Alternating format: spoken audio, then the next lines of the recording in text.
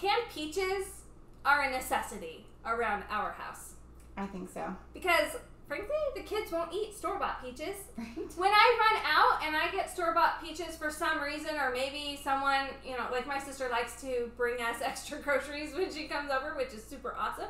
Except when I open those canned peaches, my kids turn their nose up to them. Yeah. Heck, so does my won't eat 'em husband. Right. Yeah, and they say, Mom, it's just not your canned peaches. Yep. They That's just don't like same. them. I know. When all seven of my kids were living at home, we would actually buy 10 boxes of peaches and make all of them into just canned peaches. And we'd have them eaten by the next year round. Yeah.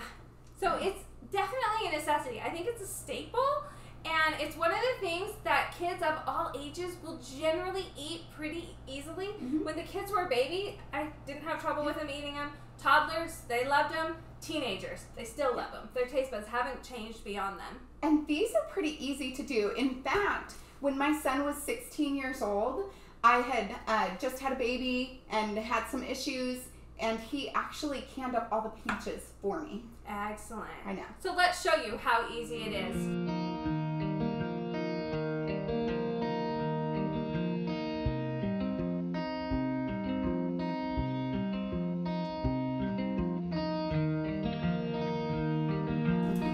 Actually going to do this. We're going to make two jars simultaneously, the same recipe, but we're going to prep our peaches differently because Marie's family likes her peaches one way and my family likes them another. So why don't you tell them how you like yours and why? Oh, so we like ours just cut in half and placed in the jar. I think they're really pretty that way. They do take up a little bit more space, but when I tell my kids, kids, okay, you need to get your fruit, if it was cut into small slices, they would just pick one slice of peach. Whereas this way they get a half of the peach. And if you think about it, the surface area is a lot less if it's not cut up and it starts to age at those surfaces. So Mhm. that's the other reason.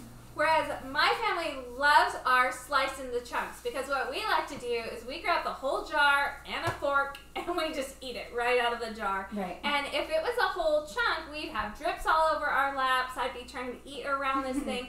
Whereas they come out so nicely on a on a fork in just a chunk. So we're just going to show you how to do it both ways. Yeah.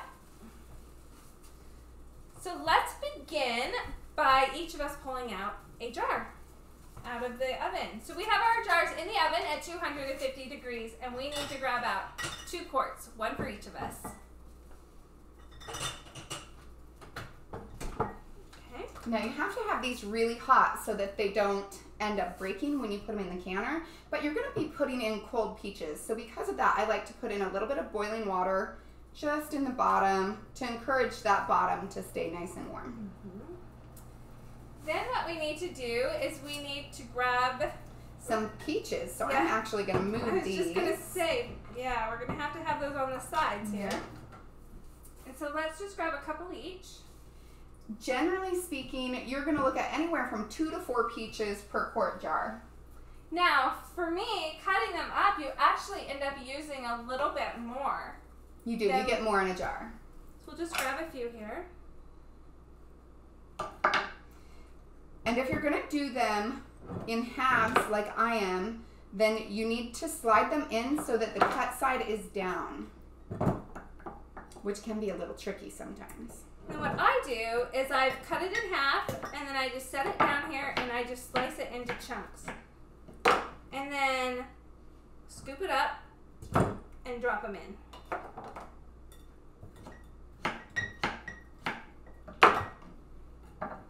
Now remember, your jar is pretty hot at this point, so a little difficult to work around. You may want a jar funnel. We have one there, but neither one of us is reaching for it.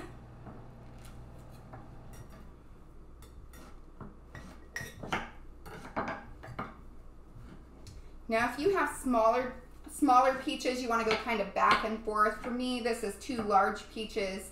It kind of fills this perfectly. I'm going to do this other half here. And I may not even need it all, but I'm going to take a few chunks of it and see what I can get in here. Yeah. That looks good for me. Perfect. So the next thing that we're gonna do, I'm gonna let Emmaline wash her hands because Yeah. I know that's kind of hard being sticky.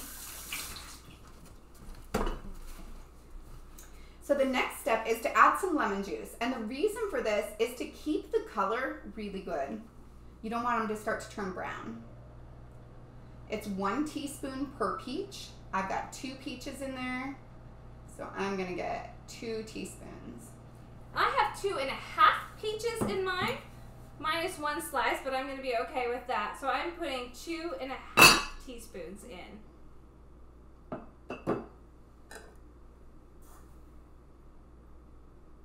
Whoop.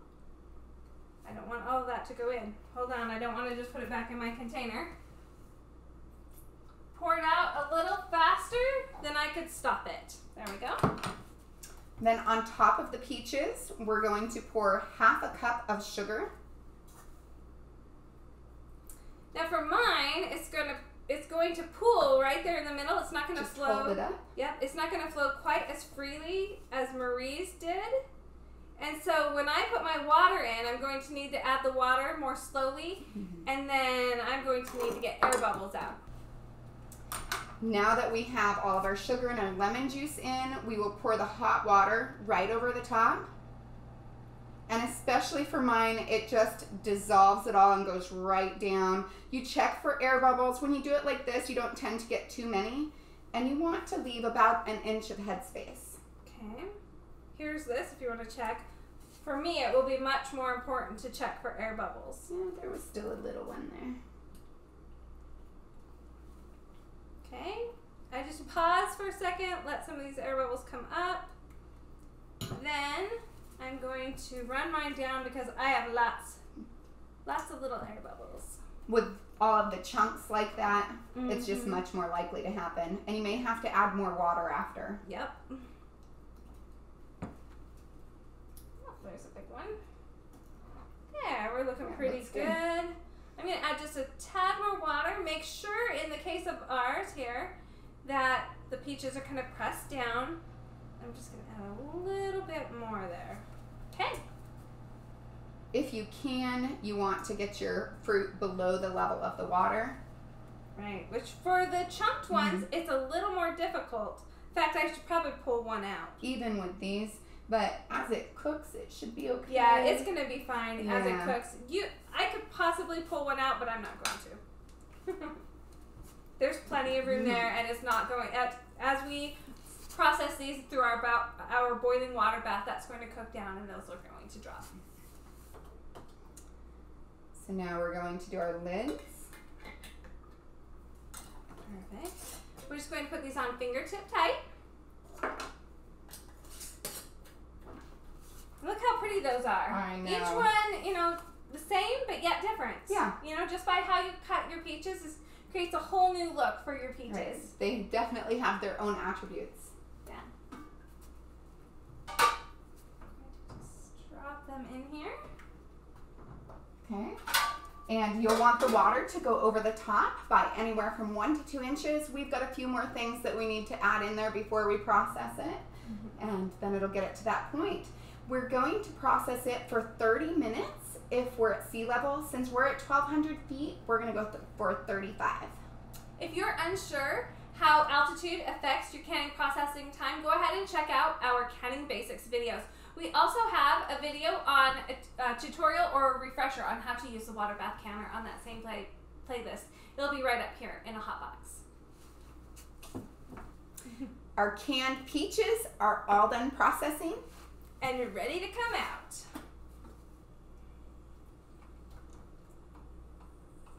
Okay, so this one is Emmaline Yeah, look how pretty that with is. her peach chunks. It's so perfect. I'm gonna turn it so you guys can see it here like that. Ooh. Okay. Oh, and Marie's whole this peaches. one is mine. It's gonna make You want me to turn it so the ball's in the front? Yes, I'm obsessive like that, guys. I even line up my jars on the counter like that. Okay. I don't have to be quite so quirky, but I am. That's but you okay. know that by now. We don't mind. Okay. I love them. I do too. I mean, look at that. We got two perfectly great Perfect. ways to preserve your peaches. Let us know which one you which way you do it. Do you slice your peaches? Do you put your peaches in in halves, or do you do something else? Oh, the other Like thing I'm curious about. Well, so I know that my grandma and my mom used to always throw a pit in with these. They weren't exactly sure why. That'd be interesting. So, yeah. my grandma didn't do that. Really? Mm-mm. Oh, I was talking to a woman in the store the other day and she was saying she did it too and didn't know why. Huh. So, if any of you know why historically people have thrown pits in with their peaches, I would love to know the reasoning. Yeah, me too. Because I actually haven't seen that done. Uh, neither of my grandmas did that that I can remember. Hmm. Interesting. And let us know how you can yours. Yep. In the meantime, make sure you click that subscribe button so that the next time we post another video, you can be notified.